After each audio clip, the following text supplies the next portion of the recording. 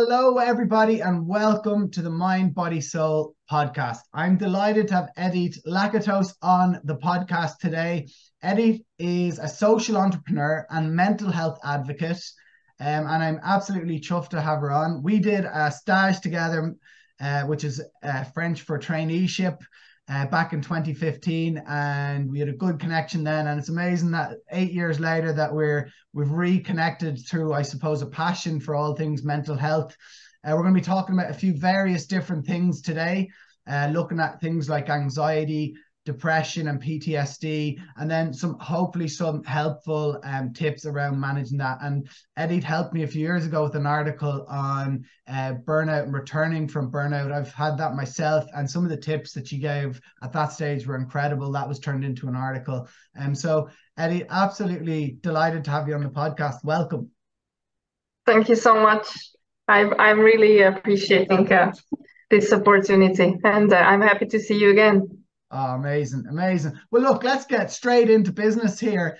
Um, so as you know, I'm, I'm delighted to have you on the show. Um, can you tell us, Eddie, just a little bit about your journey to date uh, in terms of mental health and life in general? I mean, I know it's super interesting, but it's also for you know the, the listeners who may not know you yet. Yeah, sure. Um, yeah, so basically, I was born and raised in Hungary, um, and uh, I went to study in France, and then I ended up in Belgium. So this is where we met, and uh, there I I started to work. So I'm still in Belgium. I'm working here, and I was always always a super good student, and you know a people pleaser, um, perfectionist. Um, so you know the type, right? Mm-hmm. Um, which which will actually one point um, end up in burnout. I mean, the, the type is really sensitive uh, to, to this issue. So uh, the, this personality could very often end up uh, in burnout. So this this is actually what happened to me. And uh, four years ago, I went through burnout, um, and it it shed a light to uh, another problem that I experienced um, when I was small. So I was a victim of domestic violence. So my father was an abusive man who was uh, abusing uh, us uh, so me my my mother and my brother as well so i mean we were lucky because my mother left him so she had enough courage and um, and enough support to be able to to leave um, so then i was um, developing this kind of personality style to keep with my throne to to uh, how to say to um, keep going um, uh, even though I experienced trauma. So um, which actually led me later in life um, uh, to burn out. Um, mm-hmm. So basically uh, my my journey is that yeah I experienced burnout four years ago and then I, I started therapy and I, I'm still doing therapy now. Well, well, look. First of all, I'm very sorry that you had to go through that at such a young age, um, and I think you're very courageous to be speaking about it now. Um, so thanks for that. And, um, you know, as well, I think it's hugely important that people like yourself and myself do talk about mental mental health uh, issues because I think you know they're they're they are out there and there's other people suffering and sometimes suffering in silence. So um, yeah, no, thanks for sharing that, Eddie. And then I suppose I have like I have a follow up question on that. So, you know, can you tell us a bit more about these terms? You know that you hear often: anxiety, depression, and um, post traumatic stress disorder. And you know, maybe link in: have they affected you? And I suppose how are they different, and are they linked in certain ways as well? Yeah, sure. So basically, for me, the burnout was just the tip of the iceberg. So I didn't really address uh, my PTSD, so um, uh, post-traumatic stress disorder, um, in in in my uh, first 30 years, and this led me to burnout. But uh, actually, um, there there are a lot of symptoms uh, in burnout as well that um, uh, can be um, also um, can be mistaken with depression um, and other mental health issues. So actually, uh, when I, I was diagnosed with burnout, Um, some of the doctors said I had depression, and some of them said no, it's just burnout. And then I started, um, of course, therapy, and uh, of course I learned that there are different um, different uh, mental health issues with uh, symptoms that can overlap. So basically, with uh, my uh, changes, negative changes in thinking and in mood, it can um, it can be a symptom uh, in the case of depression or uh, in the case of PTSD, but also in the case of burnout. So I had to learn the differences, and for example, um, the, the the difference in the case of PTSD, uh, which was uh, in my case, uh, um, so the difference between, between PTSD and depression is that you know uh, what caused uh, this mallet of the person. So you have a specific uh, happening uh, in the past that uh, that caused uh, this behavior in you or this kind of uh, coping mechanism. So I had a trauma in a very specific time of my life that actually um, um, uh, had affected how I developed my personality. And in a case of depression, we don't know exactly what kind of life happening uh, contributed to that. So it's a bit, little bit more blurry than PTSD actually. Mm, it's it's interesting you say that because like I remember coming back to Ireland uh, a few, probably uh, 2021, yeah, January, and I had a real period of, and I it was like at the time it felt like depression and still to this day i'm not 100% whether it was like a some a kind of a feeling of a almost like a breakdown slash mm. depression, but it was really intense for about a month to two months where I had to just drop everything from my calendar and recover. And it like to this day, I don't know exactly what it was, but it felt like a mixture of several things. And like you mentioned there, like I, I I'm uh, I take antidepressant medication as well to this day, and um, you know, it was helpful for me getting my clarity of thought back because you mentioned that idea of the negative thoughts taking over, and that that's exactly what happened to me. And I suppose I would personally look at myself as at my normal state as having a positive disposition. Um, so yeah, yeah, it's it's really interesting to hear you um clarify some of those um some of those terms. And I suppose another one that that I have in there is is anxiety. Um, and I know that would definitely be one that, that I have. And I suppose people relate to it sometimes in terms of that the beating yeah. heart or like a specific social situation. But I suppose how would you yeah. look on that one, Edit? Yeah, for for me, of course, it's it's related to to my trauma, and um, so my coping mechanism became to um, do everything perfectly and to prevent um, every um, um, any unforeseeable event to um, have a negative impact on my life. So. In short, I mean, I'm not sure I'm, I'm telling you uh, in the correct English words, but I think oh, in short, it means that I want to keep everything under control. So if everything is under control in my life, um, I will not experience uh, this stress or anxiety. So what what I have uh, is that I really worry about the future, what's going to happen today, tomorrow. If things are not under under control in my work or in my pri- private life, I feel the stress. I feel that, for example, I'm sweating more, or um, I um, I have nightmares during the night. I have some sleep issues. I have um, uh, some kind of restlessness. So I cannot really stay in one spot. I need to move around, and I feel that I am I am restless. Yeah. So it's also a very uh, specific symptom of anxiety that I didn't know actually before.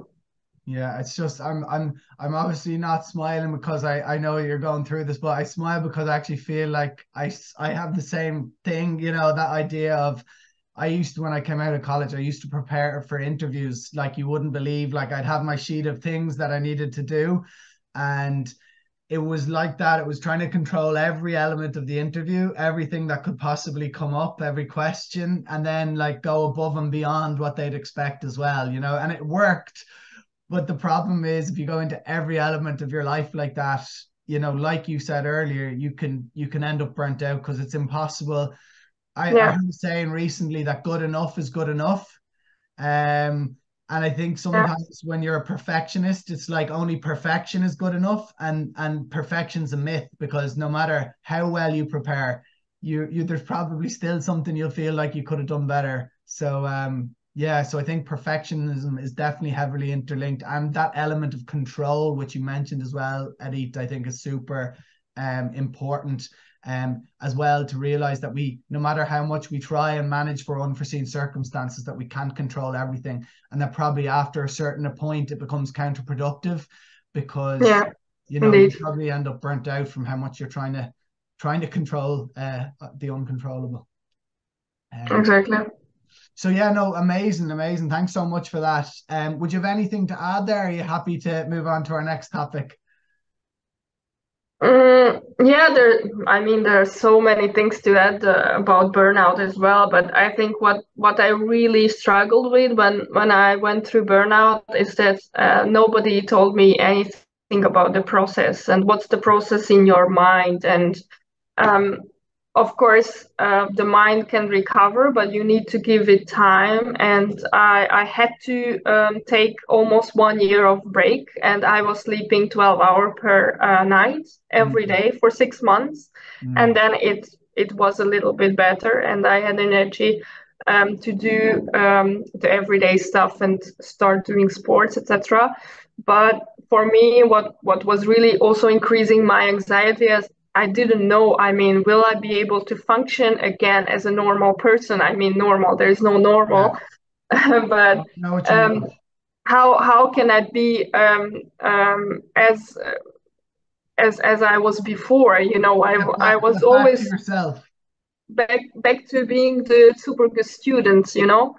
Um, at work and everywhere you know the good girl. So how how when when it's gonna happen again to me? So i was super anxious about this as well. So i think um, what people should just know about burnout and and and other mental health issues is just you need to give it time and actually the, the brain um, is recovering. And uh, of course you need to apply uh, different tools uh, to surround yourself to the good people therapy medication different tools that we we might talk about it later. Yeah. but just to know that there are actually a lot of tools that can help you and actually the functionalities will come back. You just need to give it time. Yeah amazing. Well and i want to ask you just to sort of uh, del- kind of delve in a little bit to something you've mentioned there is so you mentioned getting back to the the good girl or the perfect girl. Like was part of your burnout recovery maybe recalibrating your mindset on things? Yeah absolutely. I i really um became lazy. Definitely. I mean i i give myself the permission to rest. Yes. that that definitely changed. So if I, I'm I'm much more in connection with my body because I think in in my first 30 years my coping mechanism is was shutting down every connection with my body. So i didn't feel anything. And i mean this is a normal thing. I was learning about this uh, later on um, because if a child is abused the actually the the mental um, uh, mechanism will be that the child uh, will shut all the emotions, all the link between the body and mind to be able to stay alive. So uh, this is what happened when I was a child, and then this was never restored because I never really worked on myself. So I never really sensed that there was a problem of fatigue, of being overwhelmed. And then actually after the burnout, with my therapist, uh, I I managed to reconnect these two. So mm-hmm. now I feel much more intensely as well. I don't know, maybe it's the normal because I didn't feel anything before, but I feel very intensely this connection. When I feel tired, I, I feel exhausted, and then I feel I need to have a rest. Now I need to have a nap or when I feel mentally overwhelmed, I feel really um, intensely. And when I look at the monitor when I'm working, uh, I also feel that I need to have a break uh, from from the computer. So I think the burnout was actually a blessing for me because it helped me to reconnect mm-hmm. my body and my mental um, mental self. Oh wow, wow, wow, wow! That's so powerful. I mean, and it's funny again, something you say resonates with me. I used to like back, uh, I'm better at it now, still not great, but sometimes, you know, I would feel guilty having a lazy Sunday. So I'd be worried that, you know, particularly when I was younger and living at home, what would my parents think of me chilling out for a couple of hours? Would they think I'm lazy? You know, things like that. And, you know, this pressure that you put on yourself by thinking what other people will think as well. Like I I should be this super productive guy all the time, like a super like absolutely impossible in hindsight, but at the time I didn't realize, you know, and that's why it's so so great to hear you say these things, and I hope it's it's resonating, and I'm sure it is with with some of the listeners. Um, so it, just, it moves me on to actually a, a sort of a very interesting question because we've obviously been in contact before the show to get this organized and uh, sorry, it reminds me. Actually, I have to just point out something to people uh, quickly who are watching on YouTube. There's a little um, barcode here you'll probably see on my screen. So that's for anybody who's listening who wants to get 10 quick free health and wellness tips from my website. If you scan that code, you you can get that. Sorry, Eddie, I meant to mention that at the start for listeners, but I just I, I better get that in there now before we move on to our next question. But yeah, so just when we were talking about all of these, um, you know, how has the work from neurologist um, Andrew Huberman helped you on your healing journey? And, you know, what tips could you potentially take from that to help other people on their own healing journey? Yeah, I really love him. but uh, from the from the day I discovered his podcast, I'm an, an absolute fan, and I would even go to his conferences if I lived in the US. But unfortunately, he's so far away. So Someday, he's giving conferences. You'll go over there. yeah, yeah, one day. Or when he when he comes to Europe, I can go to his event. So basically, he's a neuroscientist, and um, so he's um describing everything in a, in a really uh, easy language.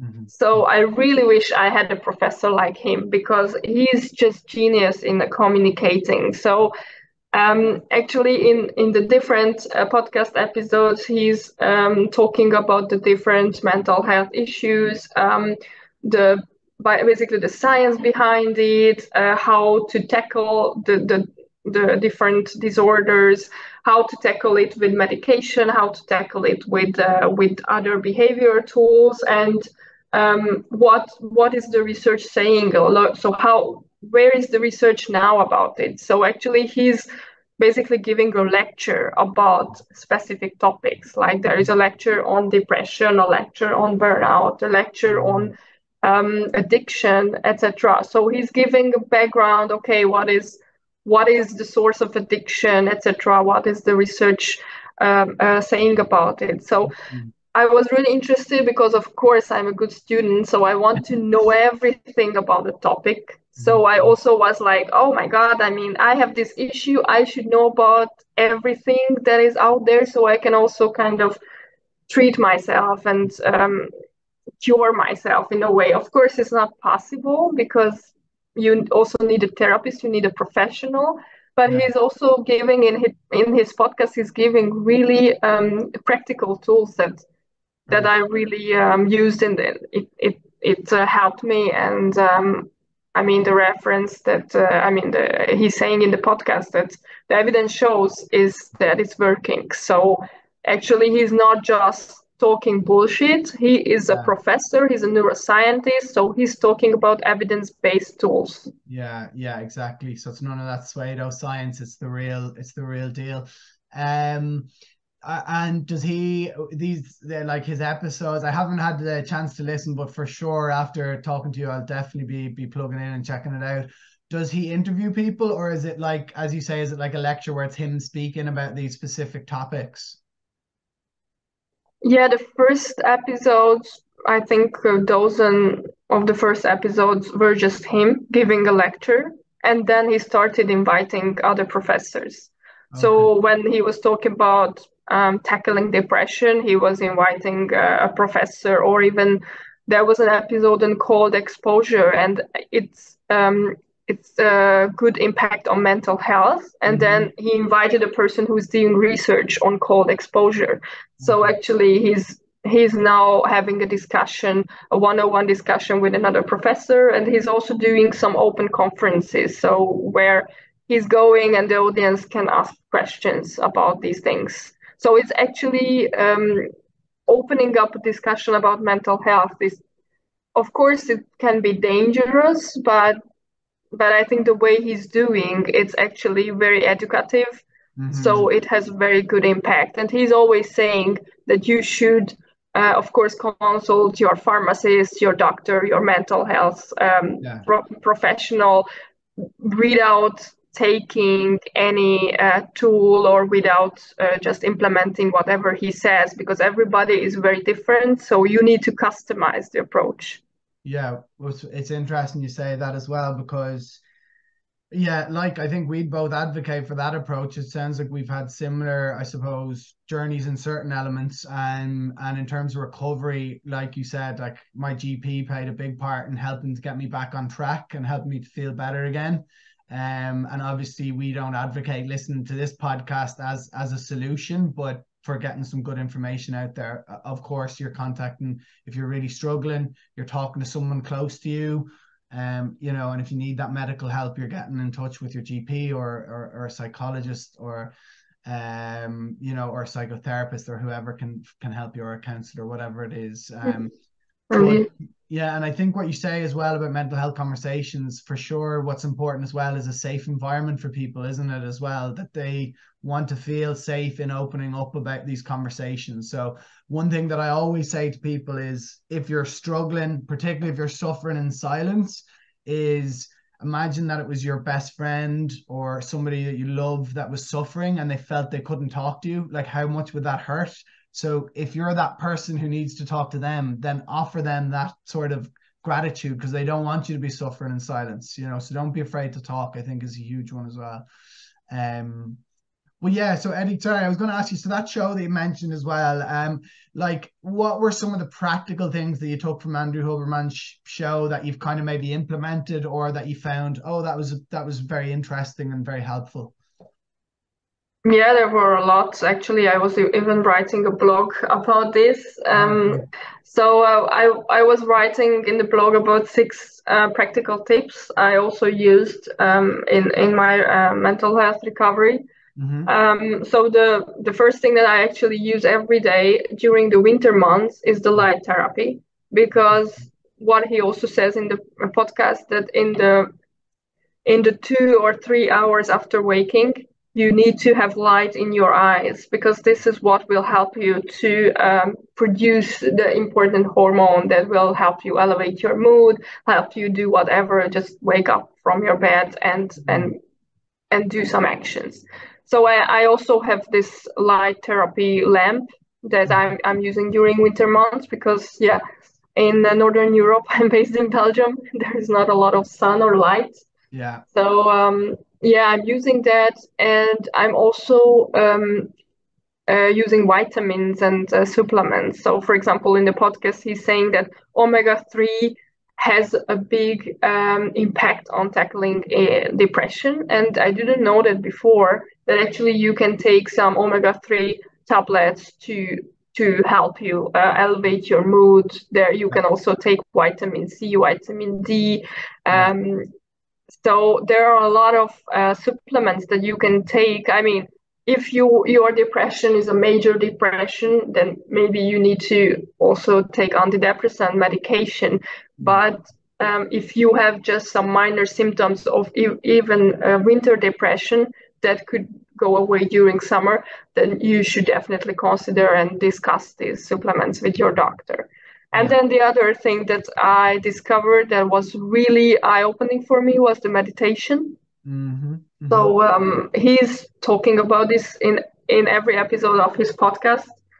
Um, and he's not uh, paid by any by any organization doing that. So he's yeah. he's saying that it it proved that it's effective on on um, mental health and it's actually rewiring your brain. Um, and I also read a book from a Belgian um, Belgian doctor mm. who uh, carried out the research uh, with monks, and um, he actually researched their brains during the meditation process and then he proved that actually their brain is very powerful mm-hmm. Um, mm-hmm. so i really believe in meditation um, i'm not so good at it i'm, I'm still trying to uh, increase the time so yeah but for me it works because it calms me down yeah. I have not gone to another level where you uh, you go to the nirvana or you something like this. no, no, no. But like what I think what a norm- normal person can do is to meditate for 10 minutes per day and uh, i mean this this is completely feasible during yeah, the afternoon or in the morning so you can always find 10 minutes there are like super applications out there i i um, use uh, some uh, some free ones from YouTube, or there is also the Headspace app. So yeah. there are a lot of things out there for that. Wow, wow, yeah, great. Wow, no, I love that. I love that. Do you, do you have anything to add on them there? Great tips, love it. Another one that I use is called the Calm app. Again, it's it is it's a paid subscription, but I'm not sponsored by them or anything, but I love it. Um, and I use their yeah. stories quite a lot. Um, there's a few that I love. There's one by Matthew McConaughey as well. He's got a very relaxing voice. So, um, oh, okay, so, cool. Yeah, yeah. Oh, that's awesome. Yeah. Uh, any more to add there on that, Eddie? They're great. And oh, sorry, one other that I would add to your supplements would be uh, considering the vitamin um, D supplement during the winter months as well. It's known as the sunlight uh, vitamin. So that might be one for people to worth considering anyway, or talk to their pharmacist about. Yeah, well, one other thing that was uh, really um, also an eye opener for me. I mean, this for some people it goes without saying that you need to have some quality connections with people. Yeah. And actually, in Belgium, working in Belgium, you know, like being an expat here, yeah. it's uh, it's something that is very difficult um, to develop uh, really meaningful connections. And this is what Huberman is also saying in his podcast that actually it's improving your mental health if you have quality connections. Mm-hmm. So I actually, after my burnout, I started to focus on my quality connections and leave behind those that were more artificial. Mm. So I mean, I'm working on that, but it it was really shocking and also positively surprising for me that the, that some quality connection can improve your mental health. Mm. I mean, for some people it could go without saying, but for me it was a surprise. Amazing. What what what good advice. And I think as well when sometimes when we feel depressed or low, there's this inclination and it's hard to get the balance right, but there's this inclination to want to um to sort of uh separate yourself, right? And to kind of yeah. at, a certain point that can become counterproductive and you know sometimes you need to get back around people to get your energy back. But like you said you kind of want them to be the right people. And um, i'm really happy that it helped you get to a place where you feel like you're harvesting those more genuine connections the ones that kind of give you energy more than sap your energy. So i think um i think that's amazing Eddie. so th- thanks for that um I'd love to move on just to to the next one because it has been mentioned already today. Um, you know, like we talked about burnout, and I want to just go, delve a little bit deeper into it. So, is burnout closely linked to some of these mental health issues we've discussed? And can you share some of the tips actually that helped you through, you know, that year that you mentioned taking out that helped you sort of get your energy back and, and get you feeling good again? Yeah, so actually there are different levels of burnout, and I think for me it was the really serious one because, as I mentioned, my body and my mind were not connected very well to each other. So the si- signal that I got was that I couldn't wake up anymore, you know. So from one day to another, I felt like I am exhausted. I don't have energy to do anything. Mm-hmm. I didn't even have energy to speak. So I I was really desperate and I was really um, afraid as well because you you don't know what's happening and um, it's it's a really um, stressful moment. Yeah. Actually, um, so but what what really helped me is that in Belgium the GPs are really um, um, how to say informed they're and educated about these things. Actually, uh, I was also so surprised when my GP told me 50% of her patients are going with mental health issues to her. Wow. So, which is which was really surprising to me because normally if you have a mental health issue you go to the uh, psychiatrist or to a psychologist but apparently here in belgium a lot of people go to their gp because this is the first contact a contact that is that has um, trust. Yeah. i mean um, they know the patient. They are the first person who will advise them so they will they will tell about all their issues. So basically the, the, the gp was really really useful because she um, told me uh, firstly she, that she actually doesn't know uh, maybe it could be burnout mm-hmm, mm-hmm. but she advised me to go to a therapist and discuss because actually it felt that something should be should be tackled uh, through therapy so she sent me to therapy she also told me that i might need to take some medication because my state was really really bad so i had to get some energy back to be able to do something.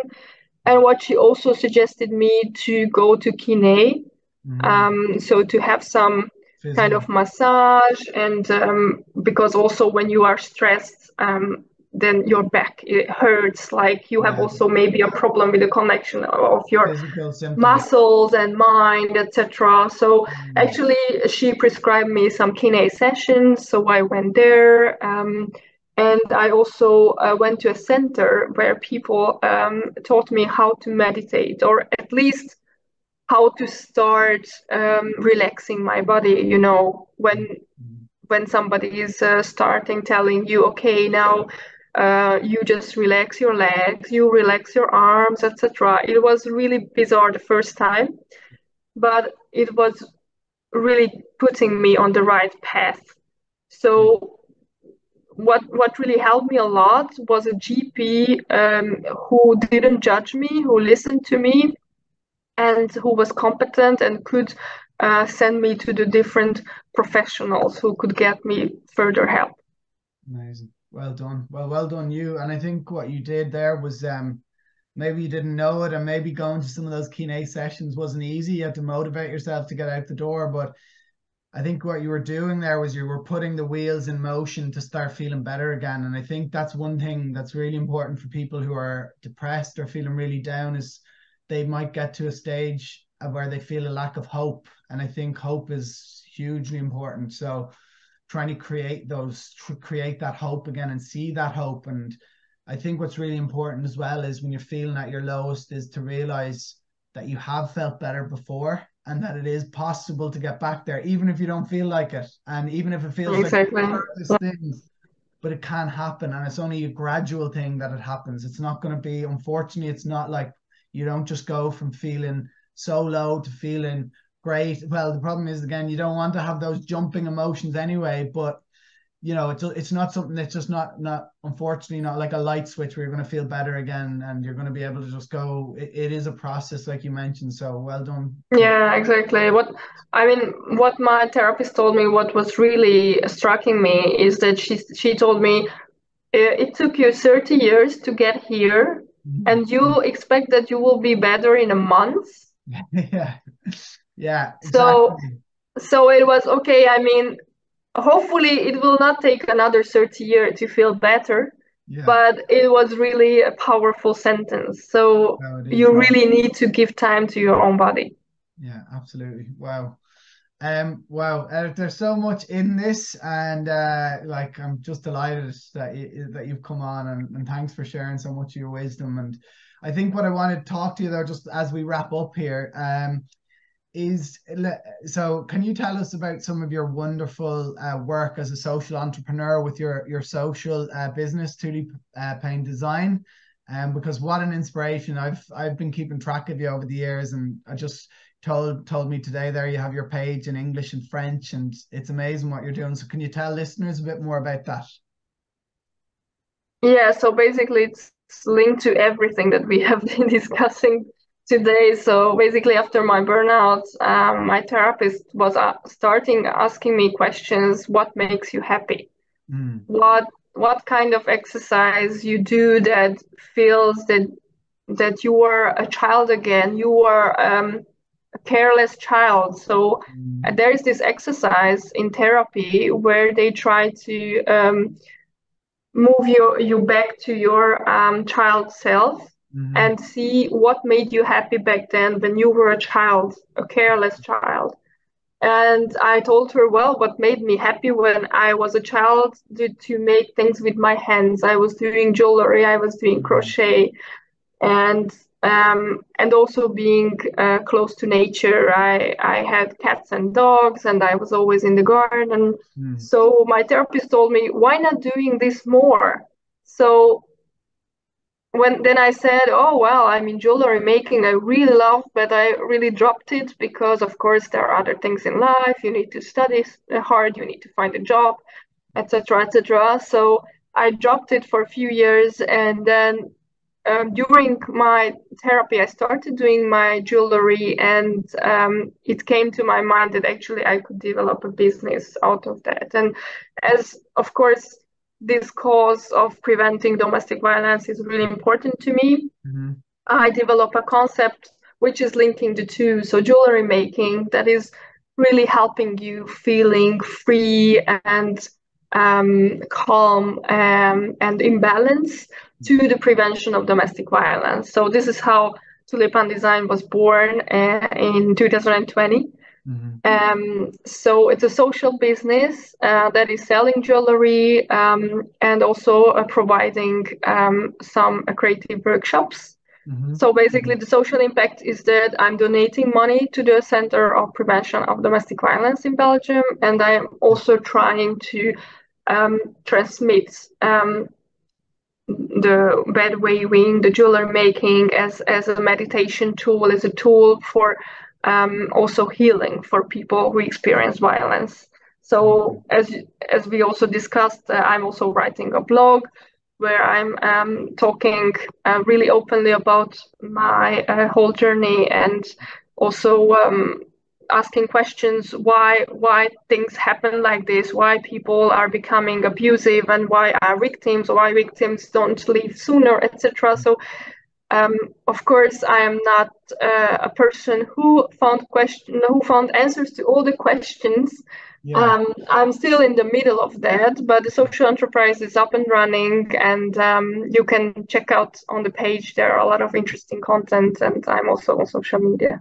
Amazing, yeah, and I'm going to include in the show notes. I'll be including a link to um, Payne, and I will be including a link to your blog as well um, so people can find out more about you because uh, it's amazing what you're doing. And I love what you said there about getting back to that carefree state of being in your childhood. And, uh, you know, for me, uh, something like that would be like playing football with friends. Like I, I, I play football again every Monday uh, for fun. It's like five aside, and it's what I call it is getting into the pure presence. It's uh you're purely present. You're not thinking about anything else. You're not thinking about worries. You're not thinking about tomorrow. You're purely present there, kicking that ball or making that jewelry, whatever it is. And I think it's hugely important that people have what I call the, the vitamin F, the fun factor, you know, the yeah. in their life and that pure presence where you can just be. You're in a state of being and um yeah, ab- absolutely amazing, Eddie. So, just to wrap up, have you got any final message uh, for listeners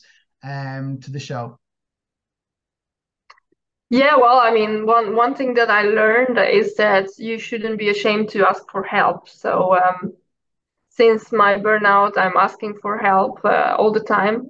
so before that, uh, for the first 30 years of my life, I was ashamed to ask for help and um, I, I really had some tough time. I didn't even talk about it to my own mother you know? Mm. um, and yeah i learned that actually it things will turn better if you ask for help and if you are talking about the issues. Mm. so um, it's nothing nothing bad is going to happen if you talk about it. Only good things can can happen as a consequence. So this is this is a thing that I learned, and and that's why I'm here to talk about this, also to encourage other people, younger people, older people, to talk about their issues because there is no shame um, of uh, of suffering. Um, there are a lot of people who suffer, so let's not suffer in silence. Amazing! What a beautiful message to to finish on, uh, Edith. You're amazing. Thank you so much for coming on the podcast. It's been an absolute pleasure. Thanks so much uh, for having me. I, am I'm, I'm really grateful for that opportunity.